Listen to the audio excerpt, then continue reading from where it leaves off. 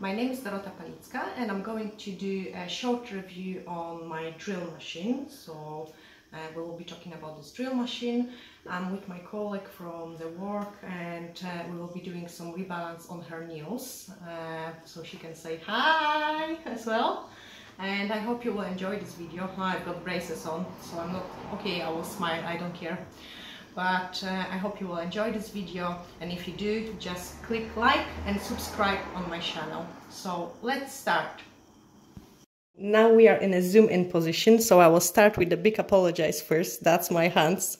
And for drill work I really don't like to wear the gloves. Um, I always sanitize my hands and a client's hands uh, with the Insta spray from Nail Perfect. So that's what I'm going to do now we're going to sanitize the hands and now we can look at my ugly nails. So one hand is just started and the other hand you can see is couple weeks uh, old and I just start filing the product off. Um, so it's not in the best condition, but I do apologize for that, never time for my own nails. Uh, but I think it will be a good idea to show you how I do them in the next video. So subscribe. But the reason for this movie is I have been asked by many of you uh, what type of drill I use, and uh, that's the answer. It is an K38 uh, marathon drill. It's absolutely amazing drill, portable, very light, and I love it. First of all, because it's cableless, so uh, you don't have to find another plug in your salon to plug it in. Um, and the battery lasts me for ages. Uh, I can do quite a few clients on it. Um, another reason why I love it as well, because it's so small and the cable here is really long, I can keep it inside the drawer in my nail desk, so it's protected from the dust. And uh, each of you can know that the dust can be really like is flying everywhere and can be damaging to your equipment. So this way, this little drill, beautiful one, can be hidden in a drawer and it's not disposed as much for the dust. Um, the handpiece is really, really light and um, nice and comforty, um, comfy. It has very low vibration, but I will demonstrate that to you. And the handpiece I'm using is the SH300. Um, they are less powerful ones, so make sure you've got SH uh, 300 not SH200 um, which you can definitely feel the difference in the power of this machine so I keep my um, I keep all my drill bits uh, in the barbicide and uh, I can show you two of my favorite ones. That's the bit I use for so there we are I just cleaned them a little bit so that's the drill I use for a cuticle like the, the one I use the most in a salon work. And then that's a bit which I use for uh, removing any products. And I love it because it is a safety bit. You can get it from our website or just message me uh, it's 29.99 but it lasts you really long time.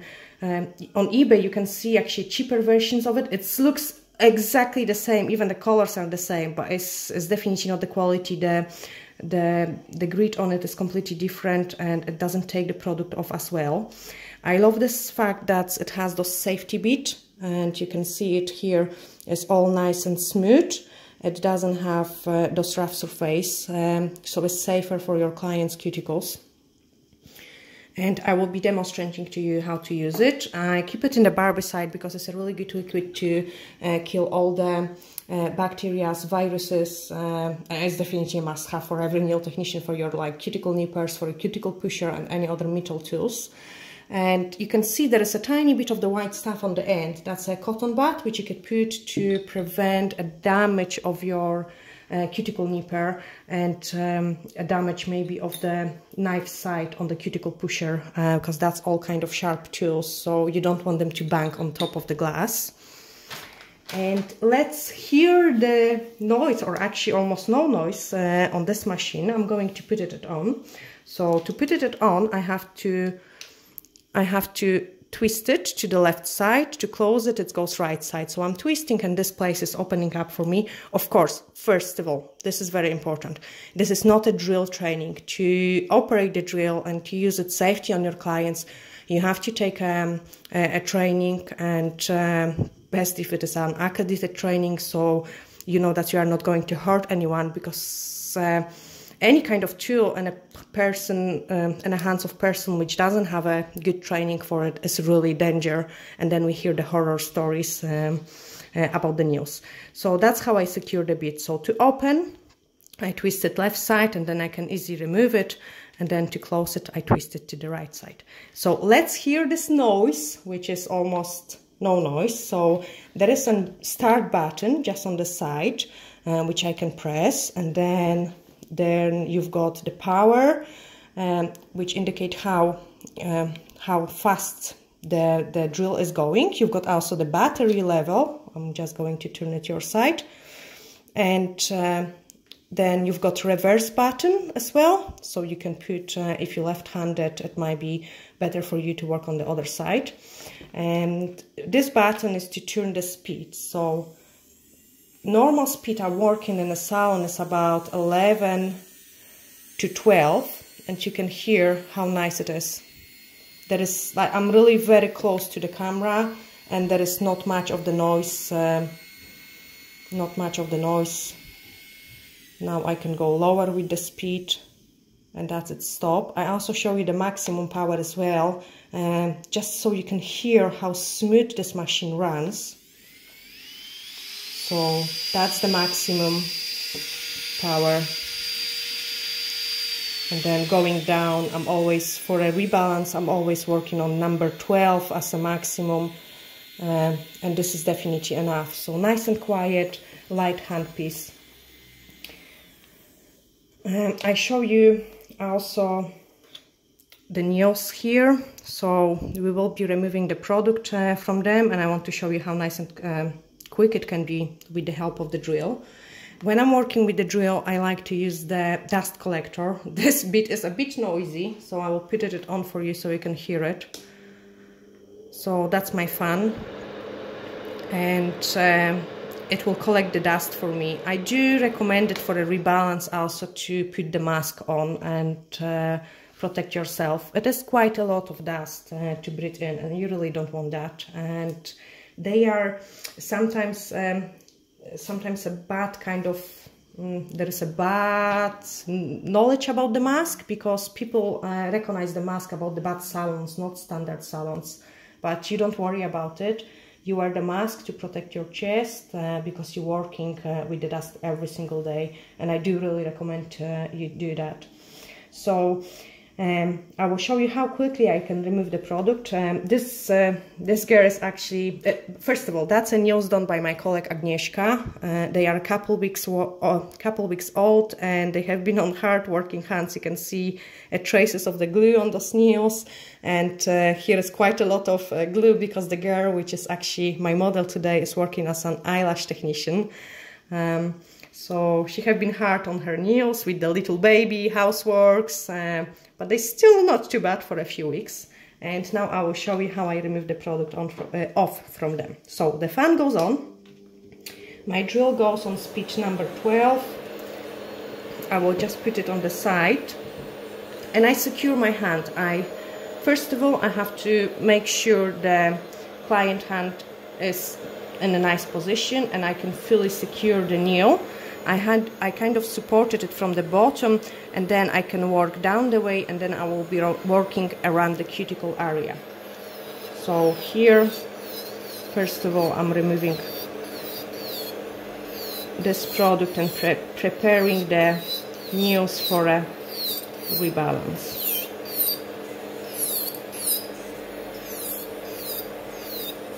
So you can see I'm holding really strong the nail to make sure like the client doesn't move or if it moves, I'm still kind of got the control over the nail and what I'm doing. And that's basically the color taken off. Um, I can still play a little bit more and go on the sides or if I know that I'm going to shorten the nails I can remove a little bit of the bulk from the end so later on I've got less filing.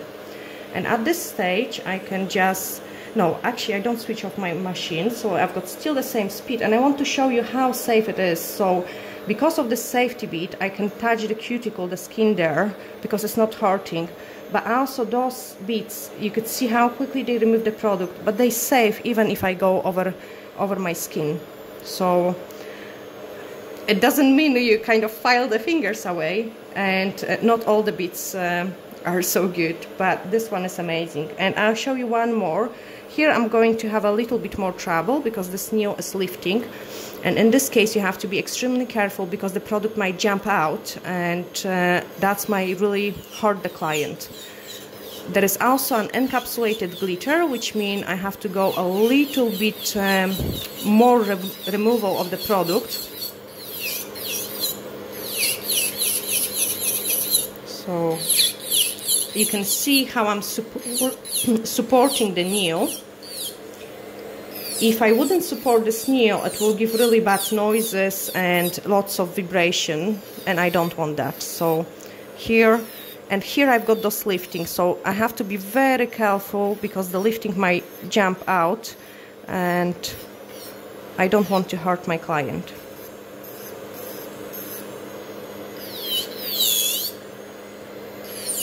So if I'm working on the side, quite often I turn the person finger and then I can work very close to the cuticle. But you can see I'm changing the direction of my bead. So it's always um, this way toward, uh, on front of the cuticle. Here this lifting, let's touch it again a little bit and the rest I will leave it to hand file. I can remove again the bulkage of the, the bulk of the product which is on the end in a case if we shorten the nails. And I can go to the next one. Exactly the same, so I'm starting from the one side, supporting the finger. You can see how nicely it is coming off. Is it sore? No. No. Actually, a drill file can give you less fraction than the hand file, and uh, if operated in the right hands, uh, it will be definitely quicker and less like and better for the client's nails as well. So don't be afraid, but you need to invest those money into the good, good drill because uh, with the cheap versions you've got so much vibration that you can't really do nice work. So again, I'm just thinning out the product a little bit. You can't stop too long in one place because then you could overfile it and uh, you will just give yourself more work. And this bead, uh, I use it for a good couple months now. Uh, if I would take a brand new, it would just go like, whew, two moves and all the product is off. And you can see I'm kind of filing almost my finger when I'm supporting. I'm not scared to touch my finger because it's not hurting me at all. And again I have to twist the client finger to reach this side and that's the product off. I will just remove the dust I will just remove the dust. Make sure you keep doing it like you don't leave the last dust on your machine because that's what is uh, going to cause the damage. I remove the dust from her nails and then I can switch off the fan because that's the most messy part done. So you can see how how nicely we can remove the product and then we've got less hand file to do. But uh, I need to show you also a little bit of the cuticle work. So what I'm going to do is like open the drill again. This goes. And here I should, you clean it first, remove any derbies and the dust. And then we can put those little cuticle bit. We close it. I remove my cuticle pusher and I want to push the cuticles gently back.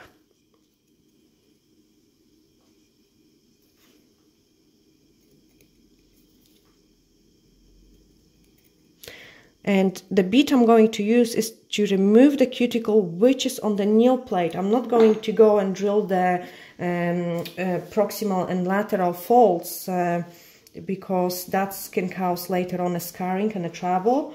So again, I put my machine on a low level, which is around anything from 10 to 12.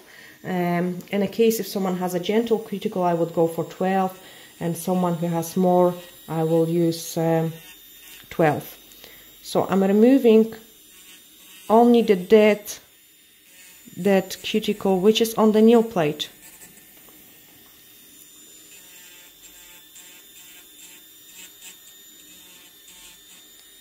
you can help yourself and push it a little bit more. You can see how nicely the dead cuticle is coming off.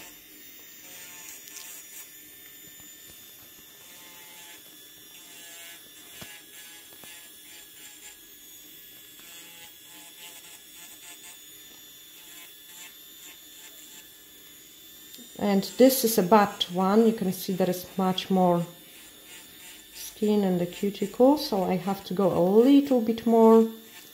You can't stop in a one place for too long. First of all you could damage the nail plate and even worse uh, you could damage the matrix. Um, so here I'm going to file a little bit of the cuticle on the top try to don't go with your fingers on the nails uh, it's better to use the brush so you can already see some improvement but I've got a little bit more work on this nail.